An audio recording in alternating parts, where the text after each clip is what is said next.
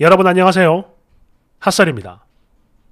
이번 시간에는 그러니까 나이는 비록 어리지만 한 20대 초반 정도로 보입니다. 그렇지만 세상 그 누구보다 열심히 오징어를 지키고 있는 그런 쭈꾸미 쓰니 데리고 왔습니다. 거의 무편집이에요. 그럼 봅시다.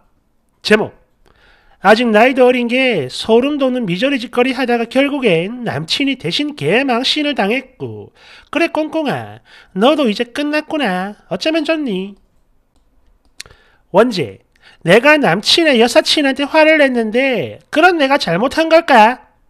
무조건 내 편 들어달라고 글 쓰는 거 절대 아니에요. 지금 남친도 화가 많이 난 상태라서 그저 객관적인 제3자의 시선으로 이 사건에 대한 감상평이라도 좀 듣고 싶어가지고 글 쓰는 거야.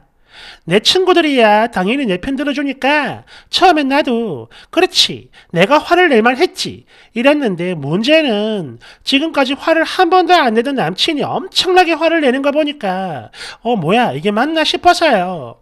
아무튼 나는 원래부터 그랬어요. 제 남친이 나 말고 다른 여사친들과 사적으로 연락하는 거 엄청 싫어하거든. 근데도 간간히 누군가랑 연락을 하는 것 같아서 내가 싫다라고 분명히 전달을 했죠. 사실 이때까진 그게 누군지 몰랐어요. 참고로 저랑 남친이랑 대학교 CC인데 저는 아니지만 제 다른 친구가 저희 남친이랑 같은 과예요. 근데 얘가 과에서 우리 남친이 여사친이랑 이야기하면서 아 걔가 같은 과에 남친 여사친과 이야기를 하면서 우리 남친이 자주 연락하는 여자가 바로 얘라는 걸 알게 됐죠. 그래서 친구가 그 여자한테 야 땡땡이는 여친 있는 거 너 알고 있으면서 그렇게 자주 연락하는 건 좀 아니지 않냐? 이랬더니 그 여사친이 거기서 일단 화를 냈다고 해요. 왜? 네가 뭔데 나한테 뭐라고 하냐? 이렇게. 참고로 제 친구는 제가 그런 걸 싫어하는 것만 말했고 나도 그 친구한테 야 그년이 누군지 알면 나한테 말해줘. 아니면 네가 좀 뭐라고 해. 이런 소리 한 적 한 번도 없거든요. 그냥 친구가 혼자서 그렇게 말을 한 건데 화를 냈다고 하더라고. 또 제3자가 오지랖 부리는 거라며 이게 짜증나면은 당사자인 네가 직접 와서 말을 해라 했고 또 연락을 자주 하는 것도 아니고 가끔 과제 같은 거 물어볼 때나 연락하고 카톡도 이어서 해본 적이 없다. 근데 이런 것까지 터치하고 뭐라고 하면 나도 같은 여자지만 그건 그쪽이 예민한 거다. 지가 미친 거지. 나는 이해 못한다. 뭐 이랬다고 해요. 그래서 나는 이거에 개빡쳐 있던 상태였는데, 그랬는데 남친과 저, 그리고 그 여사친, 이렇게 세 명이 교양을 같이 듣는 게 있거든요? 근데 그 여사친이 학교를 안 온 걸 가지고 출석 부를 때 내 남친이, 어? 공공이 오늘 코로나 때문에 못 왔습니다. 이러면서 챙기는 걸 보고 있으니까 내가 또 완전 개빡치는 거야.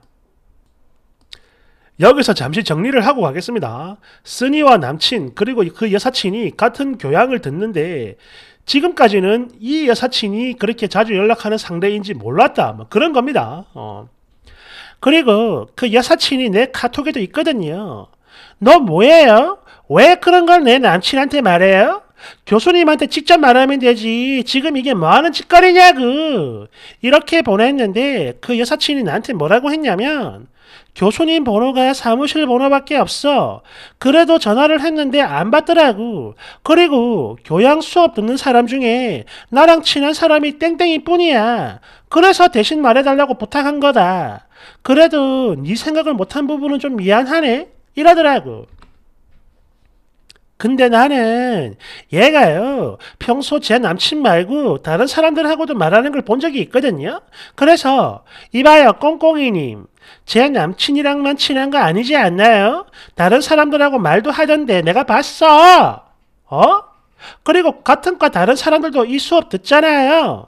이랬더니 같은 과여도 따로 연락할 정도로 안 친하고 자기가 평소 카톡을 좀 버거워하는 타입이라서 정말 많이 친해야 사소한 부탁이라도 겨우 할 수 있는 성격이라 하고 또 그때는 너무 아파가지고 정신이 없었다 이런 소리를 해요. 그리고 뭐 솔직히 내가 그렇게 잘못한 거냐?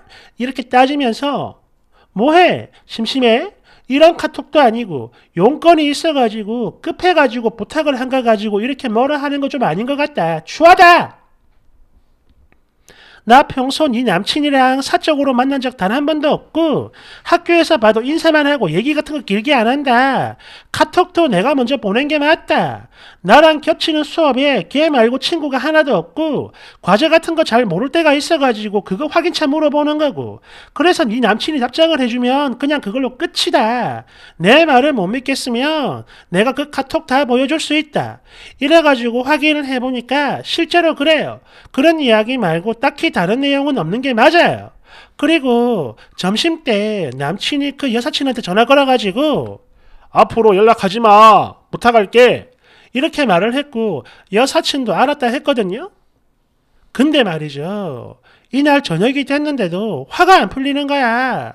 그래서 그 여사친한테 또 연락을 했죠. 이거 물어보니까 내 주변 사람들은 다 안 좋게 생각을 하던데 이래도 제가 예민하고 유난 떠는 걸로 생각하세요? 이렇게 물었더니 이 여자도 폭발을 했는지 말을 험악하게 해요. 네, 완전 개같이 유난 떤다고 생각 드는데요? 딱 이러는 거야. 거기다가 뭐라더라? 당신 그 수업에서 땡땡이랑 장난치고 노는 다른 여자애들한테도 이래? 아니잖아. 오직 나한테만 이러잖아. 내가 그걸 모를 줄 알아? 내가 왜 네 기분까지 생각을 하고 살아야 돼? 네가 뭐 내 상전이라도 되냐? 도대체 우리가 연락을 했으면 뭐 얼마나 했다고 이래. 무엇보다 당신 친구한테 그날 한 소리 듣고 난 이후로 네 남친한테 말하고 연락 안 했고 그러다 이번에 딱 한 번 부탁해 본 건데 왜 자꾸 지랄이야. 내 경고하는데 너 앞으로 한 번만 더 이딴 걸로 사람 귀찮게 하면 나도 똑같이 네 남친한테 개지랄 할 거다. 이러면서 대놓고 협박을 해요. 그랬는데 남친은 제가 저런 카톡 보낸 거 알고 화가 엄청나게 났고요. 어때요? 이거 제 3자인 여러분들이 봤을 때 정말 제가 너무 유난했던 겁니까? 말해봐요. 댓글 1번. 아니, 이제 와가지고 이런 게 다 뭔 소용이요? 곧 차이겠구만. 끝났어. 2번. 어머나 처음 보낸 카톡도 엄청 짜증나는데 한 번 더 보낸 부분에서 제대로 집요하고 미친 것 같아요. 아니 뭘 어쩌자는 거야. 네가 뭐 승은이라도 입은 줄 아는 거니? 그런 거니? 대댓글 미친 끌끌끌 장희빈도 이 지랄은 안 하겠다. 3번 얘는 오징어 지킴이도 아니에요. 오징어인 지킴이지. 스스로 개빠한 거 정확하게 인지를 하고 자존감도 개 낮아가지고 온 주변 사람을 다 피곤하게 만드는 그런 인간이지. 내 댓글 느낌이 온다. 그 여사친이 쓰니보다 훨씬 더 이쁜 거지 뭐. 특히 여사친은 별 관심도 없어 보이는데 말이지. 오징어를 지키려고 발악하는 의부증 오징어랄까? 그런 거구만. 깔깔. 4번 뭐야 이거 완전 개또라이네 아니 지가 뭔데 남친한테는 아예 말도 안 하고 이렇게 뒤에서 사람 개 망신을 주는 거야 네가 걔 여친인 게 무슨 벼슬이라도 되는 줄 아냐? 와, 저 여자 동기 진짜 성격 겁나 좋네. 만약 내가 당했으면 과 애들 보는 앞에서 남자 개망신 주고 쓰니 과에도 소문 내버릴 텐데 말이지. 이걸 참네. 어떻게 참을까? 대단해요. 5번.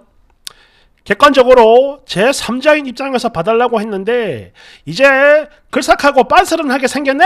어 나도 같은 여잔데 너 개유난 맞아요. 개유난 응? 소름 돋아. 특히 저녁에도 분이 안 풀려가지고 또 연락을 했다는 거. 이거 보자마자 나도 모르게 헉 소리가 절로 나오더라. 아마 그래. 늦어도 내일쯤이면 너 남친한테 차일 것 같아요. 오늘을 즐기세요 6번 쓰니 이제 꼴뚜기 지킴이라고 소문나서 얼굴 들고 학교 다니기 힘들 텐데 앞으로 학교 생활 괜찮겠습니까? 가능하면 반수를 하든지 아니면 어학연수를 가는 게 좋을 것 같은데 말이지. 7번 참 좋을 때다. 고작 이런 걸로 싸우고 미워하고 열받아 하고 근데 어차피 그 남자랑은 절대 죽어도 결혼 못하니까 그냥 너 하고 싶은 거 다 하고 살아라. 8번 어머 그 여사친 성격 굉장히 나이스하니 나였으면 바로 쌍욕 박아버리는 건 물론이고 톡 캡처해가지고 동기방에 쫙 다 뿌렸을 텐데 땡땡이 여친은 지 남친한테 말만 걸어도 이러니까 아무도 말 걸지 마라 이렇게. 9번 아이고 이년아. 아프면 병원을 가라 제발. 10번 저 정말 심각하게 이야기하는 건데요. 쓰니 병원을 좀 다녀보세요. 보니까 네 남친은 너를 버릴 것 같아요. 근데 다른 남자를 만나도 무슨 소용이 있겠나요? 지금 님 상태 정말 안 좋거든요. 그러니 병원에 꼭 가요. 11번 야 진짜 무슨 정신병 있는 사람 같아요. 지금 너 때문에 네 남친 평판까지 완전 개박살 난 거 안 보이냐? 곧 차이겠네. 어이구 12번 아니 다른 것도 아니고 코로나 걸려서 교수님께 대신 말해달라고 부탁을 한 건데 그게 그렇게 잘못된 거냐? 어 뭐 사이코야? 미저리 같아 13번 아니 그 여사친이 뭔가 네 남친한테 끼를 부린 것도 아니라면서 왜 너 혼자 꼴뚜기 지킨다고 싼딱질이냐? 아 진짜 매력없다 집착 쩔어 소름 돋는다고 14번 본처놀이 하면서 우쭈쭈 받고 싶었나 봅니다. 아직 나이도 어린데 사회생활 이런 식으로 하면 나중에 진짜 큰일 나요. 적당히라는 선을 지켜야죠. 15번. 아니 너는 대학을 다닌다는 애가 맞춤법도 그렇고 띄어쓰기도 그렇고 도대체 왜 이 모양 이 꼴이냐? 그리고 오지랖은 또 뭐냐? 특히 글 자체도 너무 개판이라서 읽히지가 않아. 어? 거기다 집착의 구속병까지 수준 참 처참하네. 달달달달. 16번. 그 와중에 쓰니 닉네임. 문제야 문제.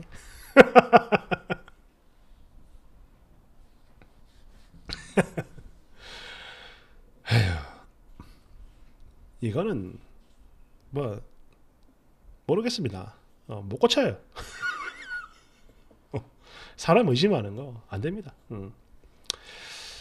아무튼 그래요. 뭐 응원합니다. 열심히 살아봐요. 어. 파이팅! 음. 음?